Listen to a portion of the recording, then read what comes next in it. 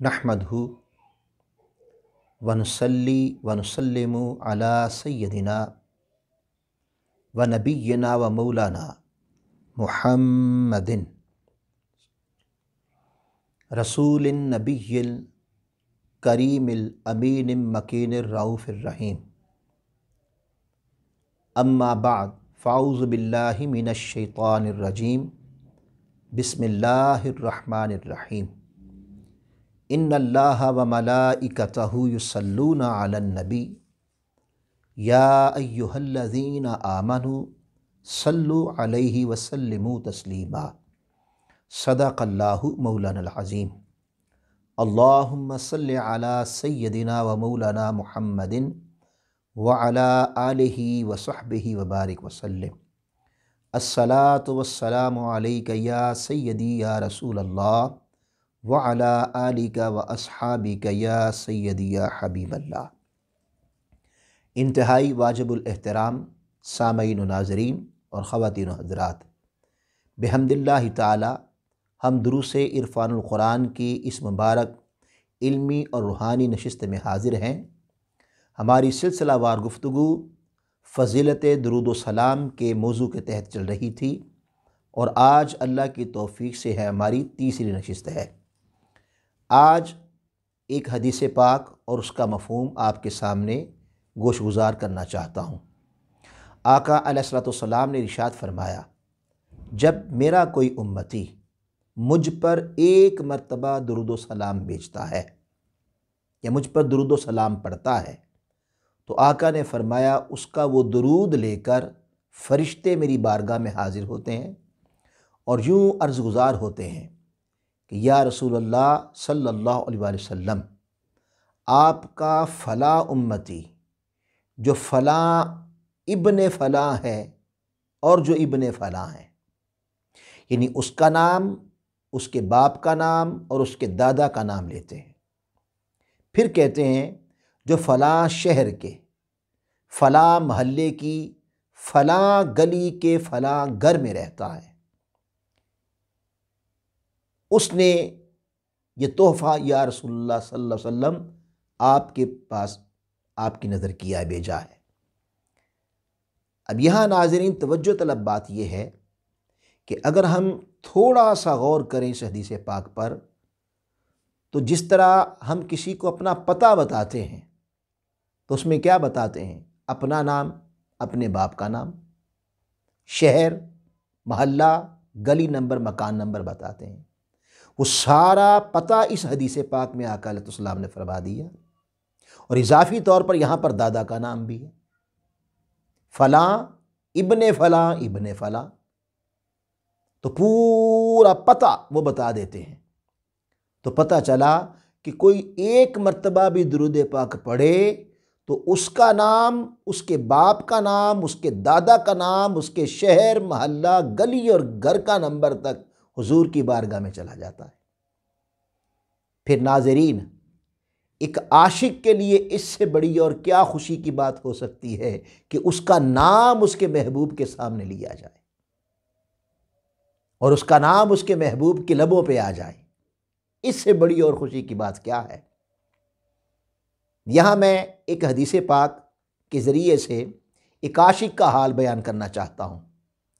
आका सलाम ने फरमाया कि अल्लाह ताला ने अपने नबी हज़रत सैदना दाऊद सलाम की तरफ़ वही की और फरमाया कि, ए मेरे प्यारे दाऊद, फ़लाँ गार में चले जाओ, वहाँ मेरा एक बंदा दो सौ साल से बैठा मेरी इबादत कर रहा है, उसे जाकर मेरा पैगाम दो।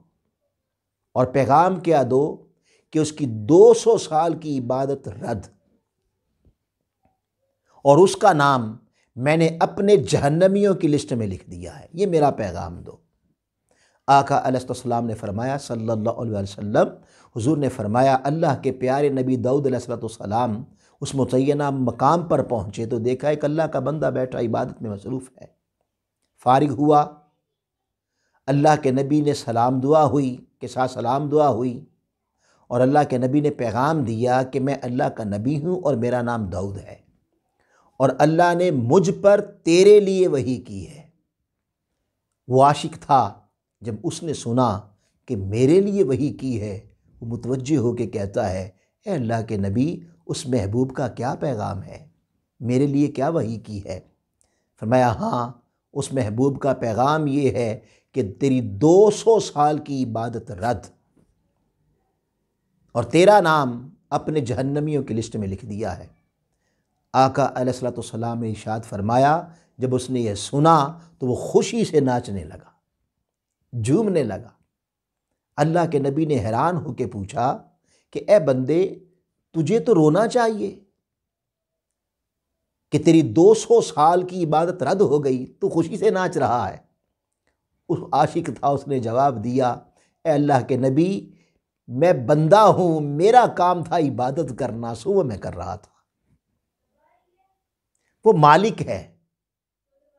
और मालिक का माना ही ये है, कबूल करे, रद्द करे उसकी मर्ज़ी।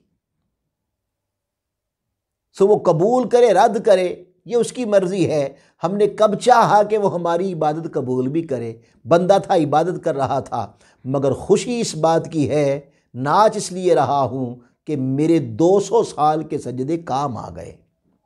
अल्लाह के नबी ने पूछा, वो काम कैसे आ गए?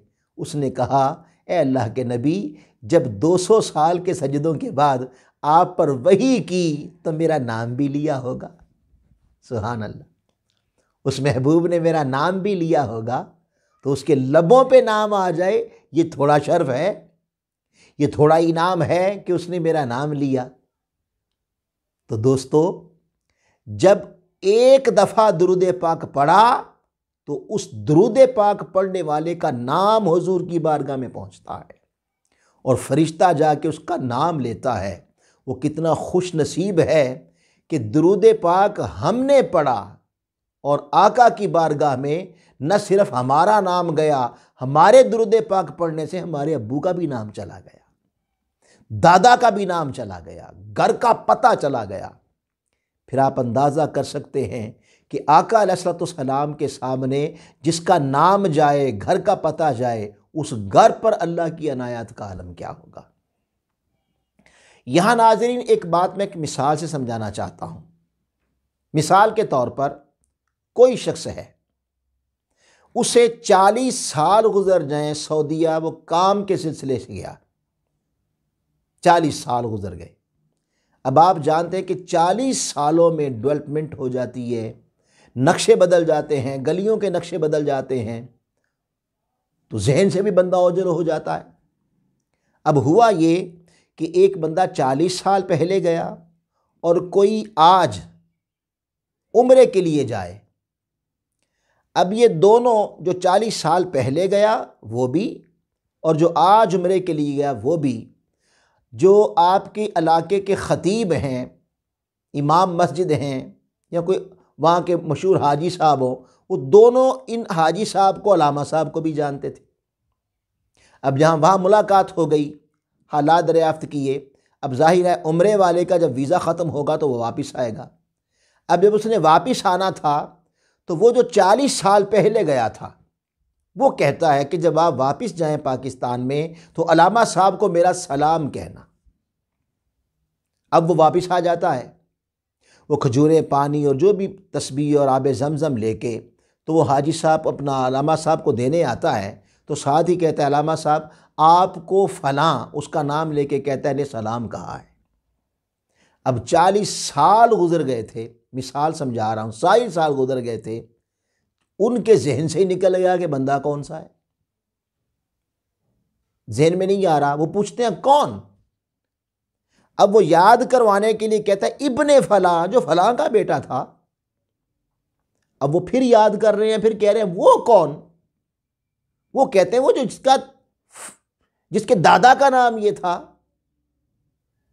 अब वो साथ याद भी कर रहे हैं और साथ पूछ रहे हैं, वो कौन जिसके दादा का नाम था? तो वो कहते हैं, वो जो फलां, गली के फलां घर में रहता है। तो जो ही वो ऐसी बात करता है तो अलामा साहब को याद आ जाता है। वो कहते हैं अच्छा अच्छा अच्छा अच्छा वो वो जिसके दादा, जिसके बाप की परचून की दुकान थी,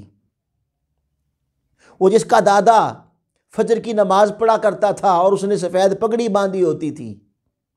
अच्छा अच्छा उसकी बात कर रहे हो? अब नाजरीन, ईमान से बताएँ ये एक मिसाल दे रहा हूँ। अजब अलामा साहब ने कहा अच्छा अच्छा वो तो बताएँ, उस वक्त जब उन्होंने कहा अच्छा अच्छा वो तो उसके तसव्वुर में, उनके तसव्वुर में, वो जिसका नाम लिया जा रहा था, उसका चेहरा नहीं आया। उसके बाप का भी चेहरा आ गया, उसके दादा का भी चेहरा आ गया, और जब गली का नाम लिया तो तस्वुर में वो गली भी आ गई। बिला मिसाल, बिला तशबी, हम भूलते हैं, मगर हमारा अकीदा है, आका सलाम भूलते नहीं हैं। कुर्बान जाएँ जब वो फरिश्ता कहता होगा, या रसुल्ला फला। तो कुर्बान जाए, ए बंदे, दरूद तुमने पढ़ा। और फरिश्ते ने कहा, फला तो निगाह मुस्तफ़ा में तेरा चेहरा आ गया। फिर कहा, इबन फला तो तखयलात मुस्तफ़ा में तेरे वालद का भी चेहरा आ गया। जब कहा, इबन फ़लाँ तो दादा का भी चेहरा आ गया।